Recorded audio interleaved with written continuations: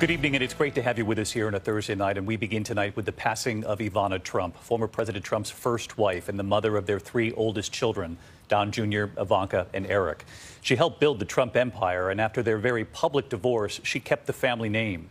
We have learned she was found unresponsive in her Manhattan apartment at the bottom of the stairs. Paramedics responding to an emergency call. It was her ex husband, the former president, who announced her death on social media. Ivana Trump was Czech born and a model when she met and then married Donald Trump.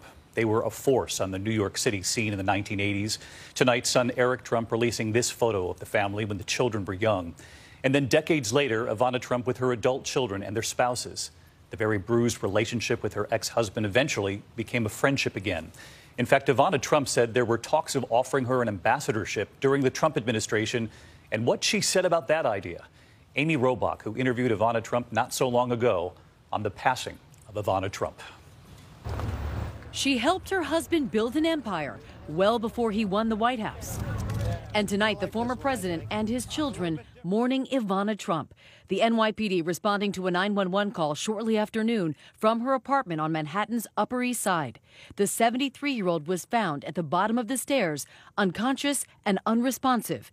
She was pronounced dead on the scene her ex husband announcing her death on social media. I am very saddened to inform all of those that loved her, of which there are many, that Ivana Trump has passed away at her home in New York City. He said she was a wonderful, beautiful, and amazing woman who led a great and inspirational life. Her pride and joy were her three children, Donald Jr., Ivanka, and Eric. She was so proud of them, as we were all so proud of her. Rest in peace, Ivana. Eric Trump seen tonight leaving his mother's home. Been a very sad day, guys. Very sad day. Earlier, he posted this picture and a statement from the family. Our mother was an incredible woman, a force in business, a world class athlete, a radiant beauty, and caring mother and friend.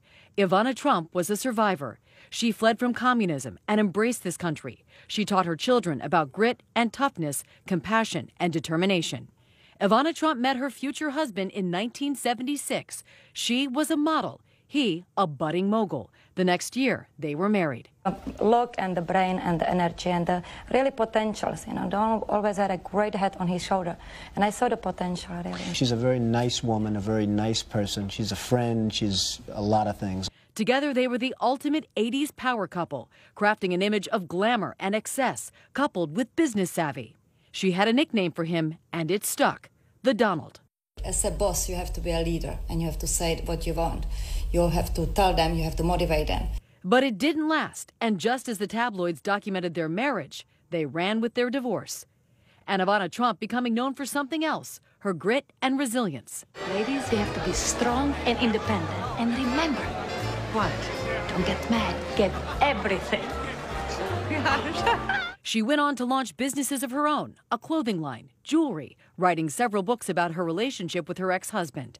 When we sat down in 2017, Ivana Trump told me her ex husband, by then the president, had offered to name her ambassador to the Czech Republic. Donald called me and he said, If you want to take the position, I give it to you. But I said I would not have a freedom.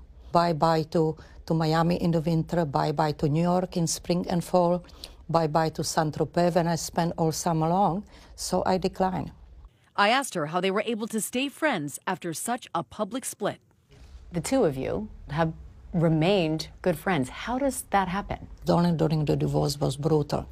He took the divorce as a business deal, and he cannot lose. He has to win. So it took about two years, and after the financial situation was um, was straightened up, we just talk, and we are friends. How often do you two talk?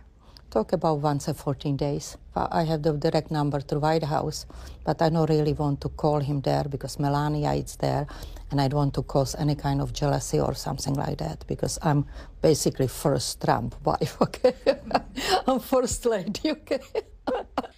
Well, she made that clear to Amy. Uh, one of the final network interviews with Ivana Trump. And Amy, she was just 73 years old. A lot of people are going to be asking are there any early indications, any word on what led to her death? David, right now, police are investigating whether she fell down the stairs and whether that in any way contributed to her death.